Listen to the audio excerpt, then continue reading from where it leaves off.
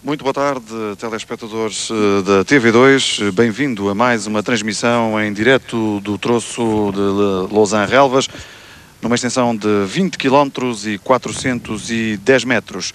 Especial de classificação que terá início para os primeiros dentro de aproximadamente 9 minutos. Ainda por decidir neste Rally de Portugal e quando faltam disputar, incluindo a classificativa de Lausanne Relvas, três especiais de classificação. Dizia, ainda existe uma luta muito interessante para o segundo lugar. Luta onde estão envolvidos dois pilotos, Didier Oriol e Máximo Biasion. Sim, boa tarde também. Realmente, Máximo Biasion e Didier Oriol estão ainda a disputar o segundo lugar deste Rally de Portugal. A diferença é nesta altura de 15 segundos e tudo, portanto, pode acontecer até à chegada ao Estoril. Muito público nesta especial eh, de Lausanne Relvas, uma especial a subir até à zona onde nos encontramos, portanto a zona do Planalto. Eh, depois eh, temos esta especial começa a descer e o piso aí tem muita pedra. Quarta etapa, última etapa do Rally de Portugal, composta por oito especiais de classificação, que liga Viseu ao Estoril. Eh, uma etapa com três eh, secções. Até o momento, e quando já estão realizadas cinco classificativas, eh, Joachim Kuhnen, Joachim Kuhnen está no comando com 44 segundos de vantagem sobre Didier Oriol. Lausanne Relvas em terra, uma especial com 20 km e 410 metros. Com condições atmosféricas eh, favoráveis para a prática da modalidade. Sim, 14 graus centígrados e vento forte na parte mais alta, mas o céu limpo e um sol radioso aqui no alto da Serra da Lausanne, o que até nem é costume, é porque a televisão cá vem que isso acontece. No final desta especial de classificação está a Teresa Canto Noronha, eh, a quem eu perguntaria eh, como é que é o ambiente aí embaixo. Boa tarde, Paulo Felipe Luís Caramelo. Bem, aqui embaixo está muita gente, ainda há muita gente a entrar para dentro do troço. Também está um dia lindo, embora haja um pouco de vento, mesmo na parte baixa do troço há algum vento. Eh, vamos esperar para ver o que é que acontece com o público. Está muita gente a dirigir-se aqui para o final do troço, que é realmente bastante espetacular. A parte inicial deste troço a subir até ao local onde nos encontramos, e esta é a classificação após 33 eh, especiais de classificação. Ken Kunan na frente, 5 horas, 48 minutos e 40 segundos. Depois Didier Oriola, 44 segundos. Biasion Sex a 59 segundos, Carlos Sainz a 2.01, Pérez a 26.47, é o primeiro português. Macedo no sexto lugar a 39.15, depois Sperrer a 45.45, Puras, o primeiro do grupo N a 49.47, Rui Madeira a 58.53 e a fechar o top 10, Pavel Sibera a 1.02.29 os melhores portugueses, uh, Fernando Pérez na quinta posição, depois Macedo logo atrás, no sexto lugar, a 13 28 de Pérez e na Fórmula 2 Macedo ocupa a primeira posição e tem Pavel Sibera uh, no segundo posto, mas está a 23 minutos e 14 segundos do piloto português. José Carlos Macedo, que já apanhou um valente susto esta manhã. Sim, o, no final de, da classificativa de Fox Lomba, o Renault uh, Clio Williams de José Carlos Macedo apareceu a deitar o óleo todo fora do seu motor. Ele deu uma pancada forte numa pedra, uh, danificou o cárter e a assistência da Renault teve que o arranjar à última hora para ver se ele entrava ainda no controle de, de, de Arganil, parque fechado, sem penalizar. Eles conseguiram colando colando o cárter do José Carlos Macedo e parece que tudo está resolvido. Ele agora tem apenas que levantar o pé, já que tem 23 minutos de vantagem sobre uh, Pavel Sivera. Eu queria também referir que em termos de Grupo N, uh, Jesus Puras tem nesta altura 9 minutos e 6 segundos sobre Rui Madeira e portanto também uh, estarão os dois a levantar o pé para tentar chegar ao Estoril. Até ao Estoril ainda faltam percorrer uh, sensivelmente uh, 50 km, portanto ainda pode acontecer muita coisa. E esta especial de Los Angeles poderá ser uh, importante na luta eh, pelo segundo lugar, já que eh, eu penso, se nada acontecer ao Jochen Kuhnen, o piloto finlandês irá vencer mais uma vez o Rally de Portugal. Sim, em princípio a primeira posição uh, será para um dos dois Toyotas. Uh, o Johan Gurn tem 44 segundos de vantagem sobre o Didier Oriol, está portanto a cobro de qualquer uh, assalto, em princípio, de Oriol ou de Biasion. Uh, no segundo lugar, Máximo Biasio não deixou uh, que uh, Didier Oriol ganhasse assim tanta vantagem como se esperava e tudo está em aberto. De qualquer modo, aqui no final de Lausanne Relvas, com 20 km para disputar numa prova de classificação, com uma subida com muita pedra e com uma descida com muita lama, nessa vamos, subida, vamos ver. Poderá ser, poderá ser fundamental e até porque, e agora a tecnologia dos pneus já é, já é diferente, eh, os pilotos eh, largarão para este troço com pneus equipados com mousse, isso poderá obviamente... Mas tanto o Rancunen como o Oriola ou o Biasion têm a mousse, eu acho que o que vai uh, aqui nesta classificativa da Los Angeles fazer um pouco a diferença, se tudo correr bem, vai ser o controle de tração dos Toyotas, que na subida é extremamente importante, já que ela se encontra a muitíssimo escorregadia. Vamos ver se isso se confirma ou não, já que a Michelin uh, fornece aos dois carros os uh, pneus equipados com mousse, pelo que uh, pelo que no final da, da, classificativa nós vamos ver como isso vai passar, mas o controle de tração aqui, quanto a mim, é a técnica mais importante é o fator técnico mais importante nesta prova especial de classificação. Há pouco víamos uh, o helicóptero pilotado pelo Tenente Galvão e uh, onde está em nosso câmara de reportagem, o Nuno Jorge, que nos vai dar as imagens aéreas desta especial de classificação, especial de Lausanne Relvas, agora com um horário diferente, disputa-se para o primeiro às 14h34, na edição do ano passado, foi bem de manhãzinha, onde estava aqui muito frio. Sim, eu já agora antes de partir a classificativa, eu fazia um pequeno balanço às cinco classificativas que se disputaram antes de Lausanne Relvas. Na Malhada Chã, o Oriol e o Sainz realizaram menos um segundo que a dupla Cancunan-Biasion. Em Arganil Alqueve, uh, Oriol realizou o melhor tempo, ganhando um segundo a Cancunan e Sainz e cinco a Biasion. Depois, uh, na terceira classificativa, em Focus Lomba, a uh, Biasion realizou o melhor tempo, mais rápido, dois segundos que Sainz, três que Oriol e seis que Johan Kunan. Em Linhares foi a vez de Biasion re repetir a sua vitória, uh, juntamente com o Johan Kunan. Oriol ficou a 4 segundos e Sainz a 7. E na Amoreira, uh, assim Biasion ganhou 2 segundos a Cancunan, 5 a Sainz e 6 a Oriol. Como se pode verificar, é uh, uma luta muito interessante pelo primeiro lugar. Inclusive, é Máximo Biasion bateu o recorde da especial de Amoreira. Uh, e depois de, de terminada a, a, etapa de ontem, uh, Luís, onde Didier Oriol estava a 41 segundos de Joachim Kuhnen e Máximo Biasion 1 minuto e 3, uh, esperava-se que Máximo Biasion, e, porque o piloto italiano não, não poderá desistir neste rally, porque senão a, eh, a sua equipa vai perder muitos pontos, esperava-se que Biasion entrasse a etapa com um, andamento de compromisso, o que afinal de contas não se está a verificar. Biasion está definitivamente ao ataque. Sim, uh, uh, sim.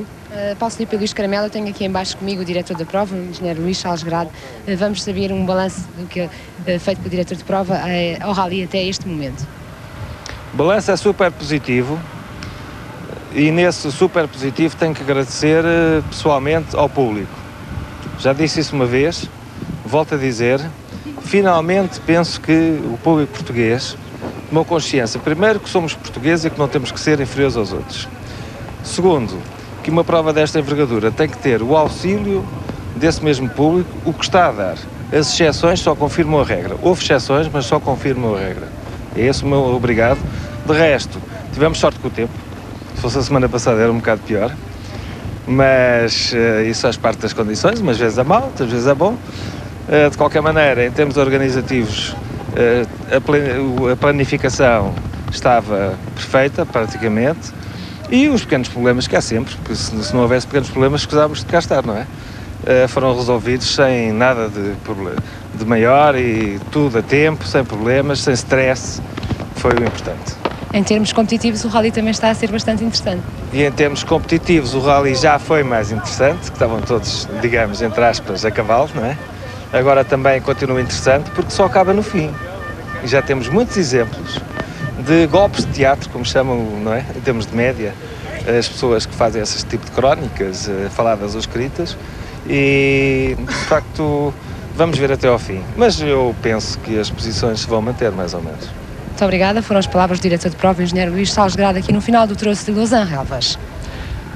Luís, eh, vamos continuar com o nosso raciocínio de há pouco. Portanto, eh, Piazion deliberadamente ao ataque nesta terceira etapa, nesta, perdão, nesta quarta etapa, para tentar ir apanhar a segunda posição de Didier Oriol e quem sabe, se calhar, enervar um pouco o Johan.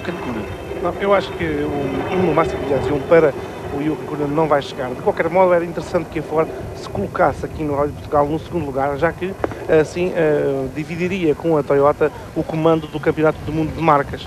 Uh, ao estar em terceiro lugar, uh, Biasion uh, ficará com os pontos de um terceiro lugar e mais um primeiro, que foi obtido por François Delacour No Monte na- Carlo. no Monte Carlo e ficará então, em- a Ford ficará então em segundo lugar no Campeonato do Mundo de Marcas. Deve ser isso que o Máximo Biasion está a tentar. Ele também uh, está bastante motivado. Ontem falámos com ele e ele disse-nos que nada nos braços, temos que tentar uh, chegar novamente ao segundo posto e por isso mesmo uh, ele está uh, ao ataque, uh, talvez até a atacar mais do que muita gente esperava. De facto, Biasion já recuperou nesta etapa 7 segundos a Didier Oriol. Eh, ainda faltam realizar eh, três especiais de classificação.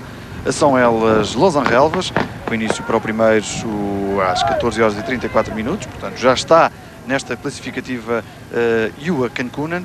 Depois temos às eh, 18h45 o troço de Abrante, quilómetros e 300 metros, também em terra, e eh, para concluir o, o rally, a tradicional classificativa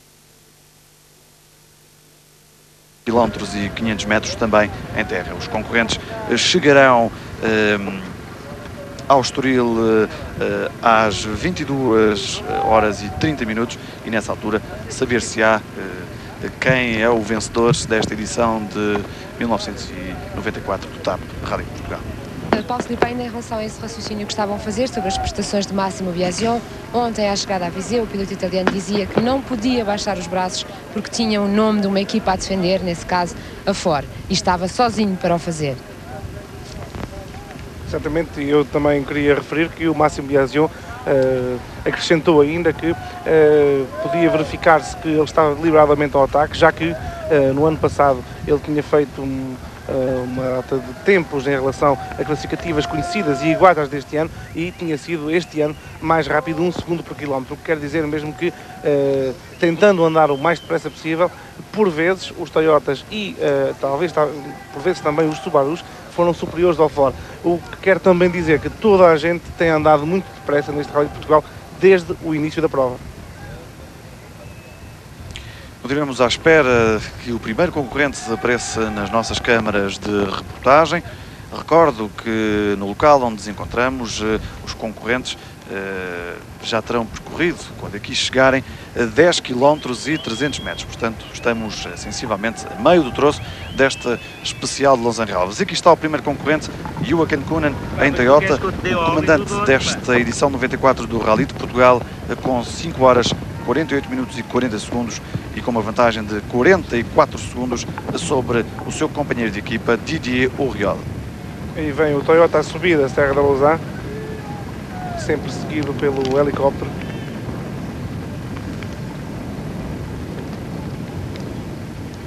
É uma zona com alguma lama, mas com bom piso.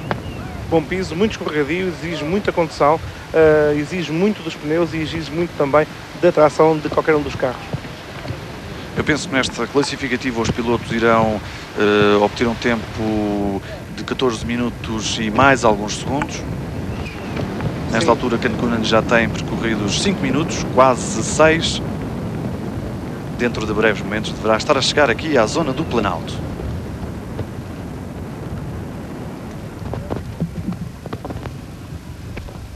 Joachim Kunen eh, com quatro títulos mundiais em 86, nos anos de 86, 87, 91 e 93 e com uma vitória no Rally de Portugal, eh, então ao volante de um Lancia, no ano de 1992. Um- uma das suas 20 vitórias e talvez eh, agora aqui no Rally de Portugal ele atinja aquilo que se chamará a maioridade, ou seja, as 21 vitórias no Mundial de Rallys. Joachim Kunen tem 88 participações no Mundial de Rallys, estreou-se no Mundial em 1979. A sua equipa, a Toyota, conta até o momento eh, com um triunfo em Portugal. Poderá, poderá este ano obter o segundo. Sim, o triunfo obtido por Carlos Sainz com a anterior versão deste Toyota Celica. Aqui estão alinhados os fotógrafos para uh, aquela fotografia bonita com o lago ao fundo no final do troço de Los Angeles. E aqui vem o. Já está, já, está com as nossas câmaras na zona do Planalto. Pode verificar-se que ele devagar não vem.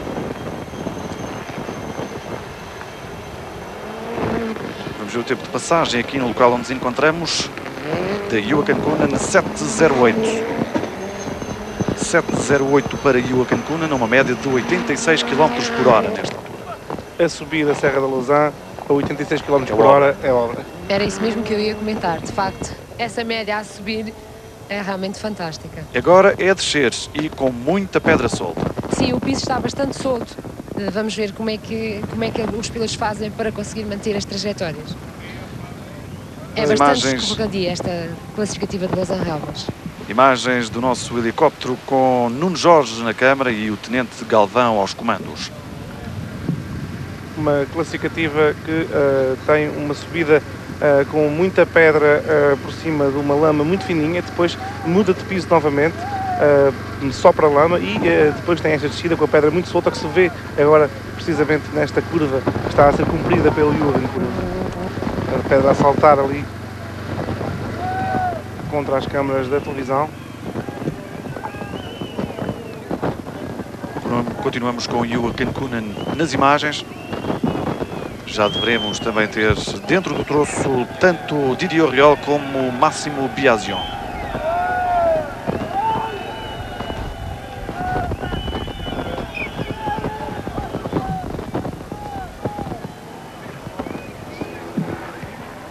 Lento da passagem de Joaquim Kunan na zona do Planalto. Vem de facto muito depressa. E está Didier Oriol já também no, no local onde nos encontramos. Vamos ver o tempo de passagem de Oriol. Parece-nos que o Didier vem ao ataque. Terá mesmo que andar depressa porque tem máximo Biasion a 15 segundos.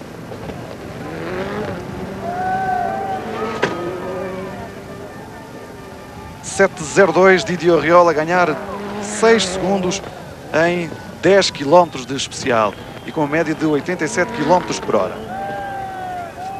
O Oriol está mesmo a tentar afastar-se o mais possível de Biasion. Eh, certamente que não se irá aproximar de Cancunan de forma a perigar a sua liderança, mas está a tentar ganhar espaço. Era curioso era se acontecesse alguma coisa ao Joachim Kunan e ficassem os pilotos então mais juntos. Sim, isso aumentava a competitividade. Não é, não é de certa forma, não queremos que isso aconteça ao piloto finlandês, mas eh, poderia dar um outro interesse às eh, restantes classificativas que faltam do Rally de Portugal. Sim, só não era curioso, na verdade, para o Cancún nem para a Toyota e o finlandês não merece que isso lhe aconteça Sim, porque tem facto. feito um rally espetacular. Aqui temos o estilo particular de Didier Oriol eh, a balancear o carro para todas as curvas.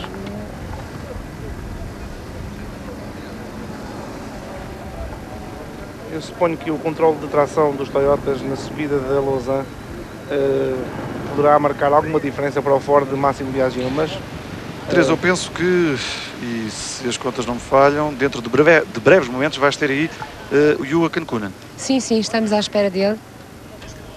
Didier Oriol, eh, 35 anos, 57 provas no Mundial, já obteve 14 triunfos e foi o terceiro classificado no Mundial de 93. O Didier Oriol que persegue já há algum tempo o título, um título eh, para a sua carreira. um título mundial e uma vitória no, no Rally de Portugal que ele aprecia bastante. Continuamos assim a prova de Didier Oriol. E aí está, Máximo Piazion também a andar muito depressa.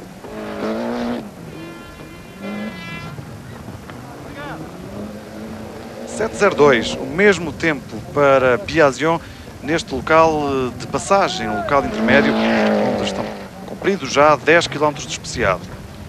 Olha Luís, e agora? 702, eh, E agora a quem- diferença poderá ser feita na descida. E agora quem descer melhor é que ganha. Na verdade, eh, o, o que eu tinha dito do controle de tração, o Máximo Biasio, acho que conseguiu colmatar essa diferença com, a, com a, a maniabilidade do Force Core, em princípio, e, e talvez com, com o seu conhecimento, Com a sua com experiência. a sua experiência nesta classificativa e no Rally de Portugal.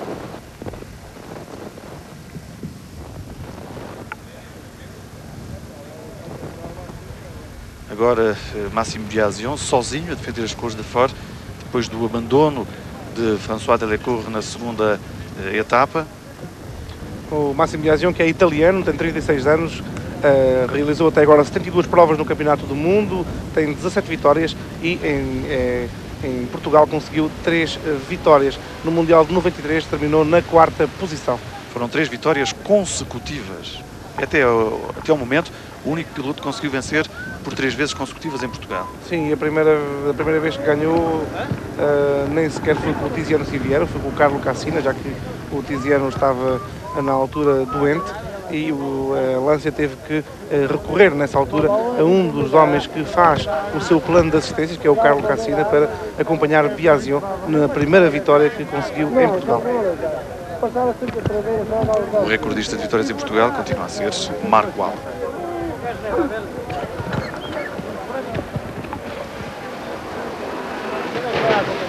E já temos as imagens de Carlos Sainz em Subaru. Carlos Sainz que tem aproveitado para uh, testar uh, o seu uh, Subaru Impreza, tem aproveitado para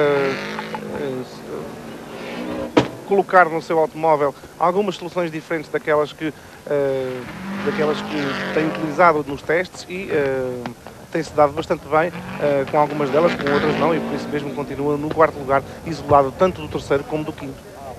7.07 para Carlos Sainz, portanto menos um segundo que Joachim Kuhn, mas em contrapartida mais 5 segundos que os homens mais rápidos até ao momento, Didier Oriol e Máximo Biasio. A Subaru é que, Luís, ficou um pouco aquém do esperado eh, aqui eh, neste, neste Rally de Portugal. Segundo, segundo o que diz o Carlos Sainz, uh, o grande problema do Subaru uh, situa-se a nível de diferencial. Uh, o piloto espanhol assegura que o diferencial do carro não é, não é tão eficaz como o do Toyota ou como o do Ford, já que é o mesmo que a Toyota utilizava antes, portanto, quando ele estava na equipa. E por isso mesmo poderá haver alguns problemas de adaptação do espanhol a, a esse tipo de diferencial. E aí temos Jürgen Kuhnen já na parte final da especial de classificação. Estamos à espera do piloto finlandês aqui no final do troço de Los Angeles para sabermos o seu tempo. Ele deve estar mesmo a chegar. Até agora já leva 14 minutos e 30 segundos de prova percorridos.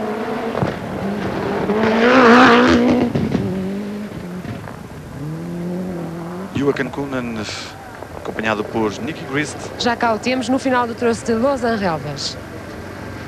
Penso que o tempo dele será de 14,38. Vamos tentar saber.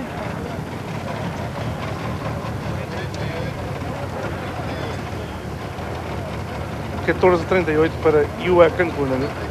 Vamos esperar pela confirmação da Teresa Canto Noronha que se encontra no final do troço. Sim, sim, confirma esse tempo, 14:38 para Iua Cancuna em Los Angeles. Um pouco cansado, Iua. Não, Teresa? Sim, mas bem disposto, pelo menos disse olá. E adeus à câmara da RTP. Já com Fernando Pérez também eh, na especial de classificação, o melhor piloto português a efetuar uma prova tranquila. 7.28 após 10 km de especial, à média de 82 km por hora. 7.28, portanto, eh, Fernando Pérez a perder-se para os mais rápidos 26 segundos.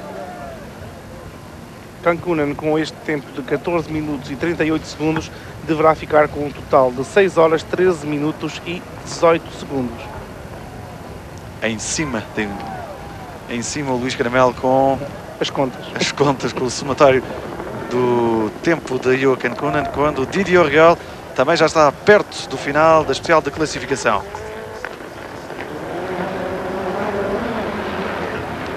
Didier Oriol vem muito depressa muito depressa. O Real está aqui a chegar mesmo ao final do troço. Ele faz muitíssimo bom tempo quanto a nós. 14-24. 14-24. Bem, é um excelente tempo. Se confirmar esse tempo é espetacular para Didier Real. Era aquilo que eu dizia há pouco, Luís. Eh, eu estou a ver é que o Oriol e o Biazion poderão estar a aproximar-se do Jochen Kuhn. Bem, aqui embaixo a indicação que eu tenho é 14-23 para o Real. 14 23. Ah oui, oui, oui. Ils m'ont réglé la voiture. 14, 38. Hein Ils ont réglé quoi Je suis parti d'Argani, je suis parti avec une voiture direct. Encore Ils sont plantés. Ah merde. Manny de Riol está bastante cansado aqui no final do troço. 14 segundos a Cancunan foi o que ganhou o Didier Oriol e, portanto, fica nesta altura a 30 segundos do piloto, do seu companheiro de equipa. Exato, está cada vez mais perto. Eu acho que o Cancunan distraiu-se um pouco nesta especial. Eu não sei se será distração, eh, se será o Didier Oriol que se excedeu. Melhor piloto português neste Rally de Portugal, Fernando Pérez, 30 anos, eh, abandonou a prova em 93 e foi o melhor português no Rally de Portugal em 91 e poderá repetir, três anos depois, em 94, a sua eh, prestação na prova portuguesa. Tem todas as condições para isso, o Fernando Pérez. Bom, Vamos agora a esperar. expectativa é para o Máximo Piazion. Piazion tinha Aí vai efetuado até ao meio da especial de classificação, ao mesmo tempo de Didier Oriol, 7.02. Vamos ver qual é o tempo do piloto italiano aí em baixo. Vamos esperar a ver o que é que acontece aqui em baixo.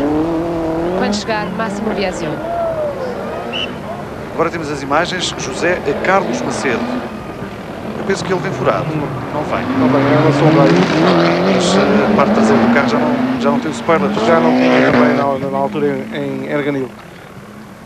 Aí está o Máximo Biasion, no final do troço. Vamos esperar. Cá o temos no final do troço. Vamos esperar para saber o seu tempo. 14.26 parece-nos a nós. Se de facto o Biasion tinha efetuado 14.26, perdeu 3 segundos para eh, Didier Oriol e passou a 18, a estar a 18 segundos do piloto francês. 14.24 é a indicação que eu tenho aqui em baixo. É sim senhor, 14.24 14.24, para Miki não Biasion. 26, mas sim 14.24. Perde tal? apenas um segundo. Difícil. É muito difícil, muito difícil. Porquê? É porque é muito calor. Bem, Miki Biasion diz que está com muito calor. Bom, 14.24 para Máximo Biasion e não 14.26 como tínhamos há pouco eh, no nosso ecrã. Eh, 14.24, isso dá eh, que Biasion fica a 16 segundos de Didier Oriol. Exatamente. E a quantos, Luís, de, de Cancún? Portanto, ele faz. Faz Bom, enquanto o faz Luís vai fazendo as contas. Faz menos 14 segundos do que o Yuba Cancunen. E, portanto, vai ficar 45. a 45 segundos, exatamente. Quando agora acompanhamos a prova de Jesus Puras, o melhor piloto no agrupamento de produção. Puras, antes desta especial, eh, ocupava o oitavo lugar e se nada lhe suceder, manterá essa posição. Puras está E, meio da especial, 8 minutos eh, percorridos do troço. Agora é a vez de Carlos Sainz Luís Moia se prepararem para concluir esta 34ª especial da classificação. Obviamente que há pouco tínhamos dado que a diferença era de 30 segundos e não é de 29 segundos, obviamente, porque eh, foi 14-23 o tempo que foi efetuado pelo Didier Oriol. Retificações. Carlos, José Carlos Macedo ali, eh, penso que deverá, deverá ter feito um peão. Bem, aqui no final do troço temos, entretanto, Carlos Sainz. Vou tentar saber o tempo do piloto espanhol. 14.32 para Carlos Sainz. 14.32 para Sainz. Sainz perde 9 segundos para o mais rápido, Didier Oriol, mas consegue ganhar 6 segundos a Juha Kankunen. Sainz que passa agora a estar penso a 1 minuto e 55 segundos. Exatamente, De 1 Yuba minuto e Cancunen. 55 segundos do Cancunen.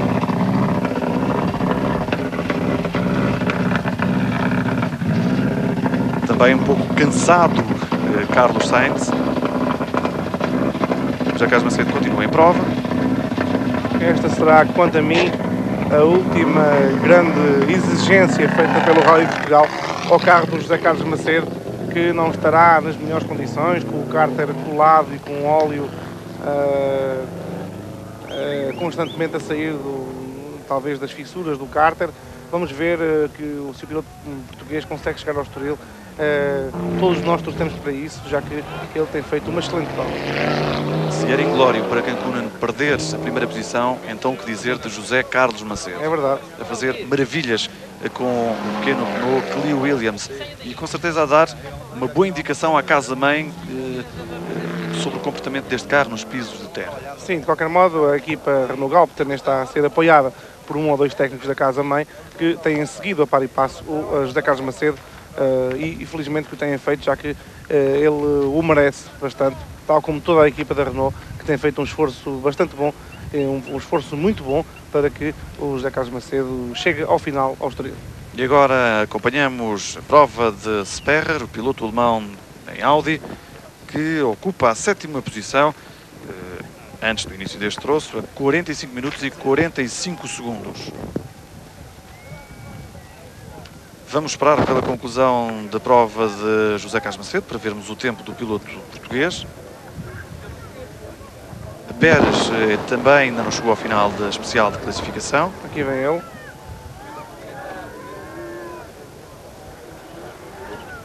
Fernando Pérez, o primeiro piloto português, agora nesta altura numa toada calma para chegar ao final, esta conclusão do Rally de Portugal, uma pontuação importantíssima para o Campeonato Nacional, Campeonato Nacional que tem novas regulamentações quanto às pontuações nas provas. Sim, exige que os pilotos terminem as provas, uh, andem depressa, mas que terminem as provas, o que uh, condiciona por vezes o andamento destes mesmos pilotos. Parece-nos que foi 15-27 ou 15-26. Vamos já confirmar, uh, Fernando Pérez acabou de chegar aqui ao final do troço, vamos saber o seu tempo.